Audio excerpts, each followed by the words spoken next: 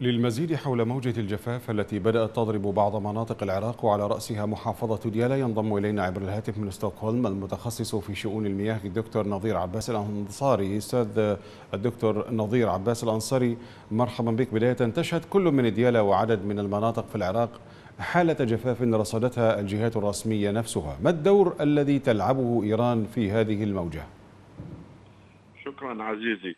أه، منطقة الشرق الأوسط بصورة عامة من قبل 30 سنة بدأت تمر بمرحلة جفاف وهذا نبهنا عليه قبل أكثر من عشر سنين سواء في المؤتمرات أو البحوث العلمية في المجلات المختلفة.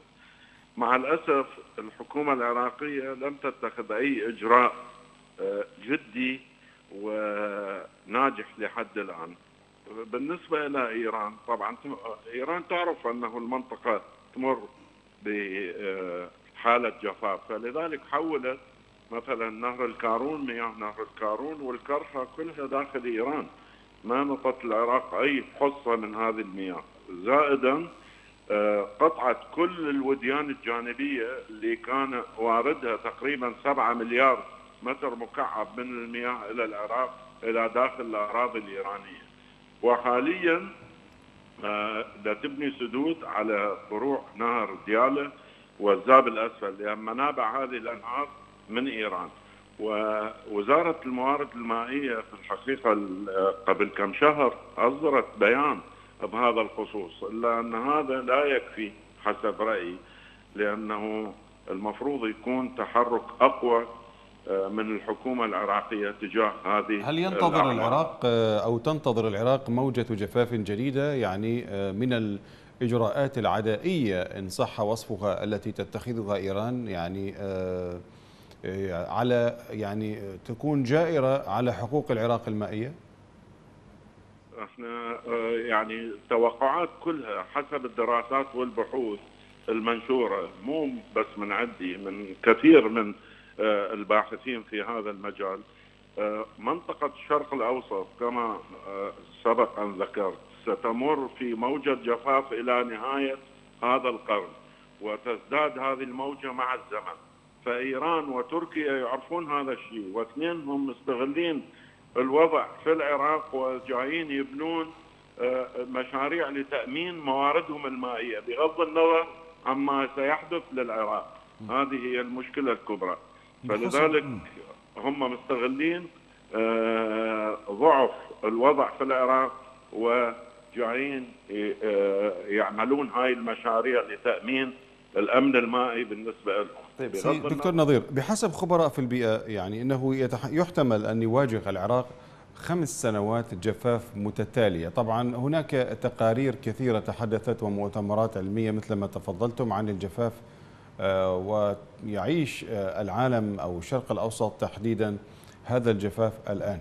كيف ترى هذه التقديرات؟ يعني لماذا يعني حددوا بخمس سنوات آه، يعني كتقدير زمني؟ أعتقد هذا التقدير خطأ.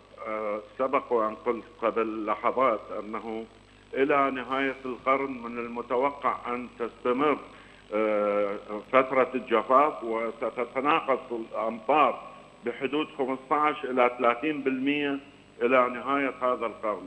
طبعا تجي فترات ممكن مثل ما صار قبل سنتين مثلا بالعراق تجي فترات آه، مطيرة جدا في فترة زمنية قصيرة مما يسبب أيضا كوارث مثل ما صار بالعمارة والكوت وكثير من الأراضي الزراعية والقرى تاثرت آه، مثل هذه الفيضانات. فالتوقعات مو خمس سنين بس وإنما ستستمر آه، فترة الجفاف إلى نهاية هذا القرن. هذا هو هذه الموجات آه، دكتور هناك موجات متكررة كل عام آه، تترك اثرها على الزراعة والثروة الحيوانية في العراق.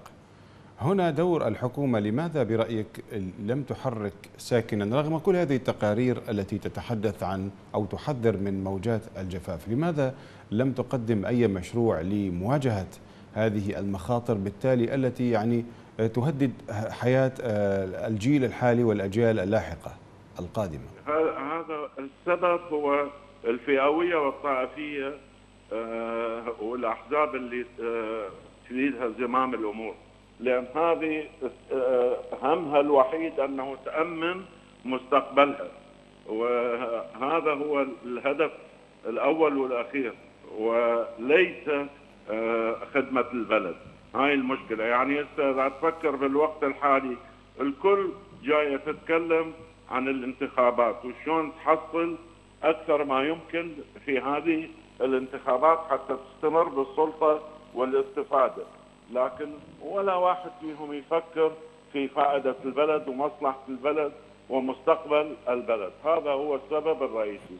نعم. فالمفروض المفروض الدولة آه، مثل العراق فيها استراتيجية لإدارة الموارد المائية بعيدة الامد على الأقل 30 سنة إلى الأمام بغض النظر عن شكل الحكومة ومن يحكم ومن هو الوزير أو رئيس الوزراء، المفروض هذه الخطة الاستراتيجية آه، تكون موضوعة بشكل علمي بحيث تتفادى كل هذه المشاكل، وإحنا تكلمنا عن هذا الموضوع بشكل كبير جدا وفي كما قلت في المؤتمرات والبحوث نعم. وطينا الحلول بس مع الأسف ما حد يهتم بهذه الأمور. من ستوكهولم المتخصص في شؤون المياه الدكتور نظير عباس الأنصاري شكرا جزيلا لك.